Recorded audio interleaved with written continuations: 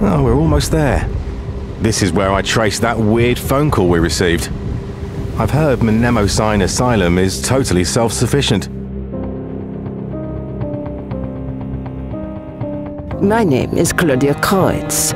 I am in charge of this asylum. I bet a month's salary he's the one that phoned me.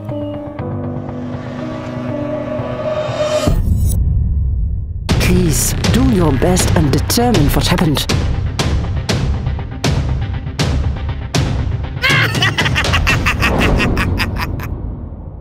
Hey, why is my partner locked up in there? Because she's delusional.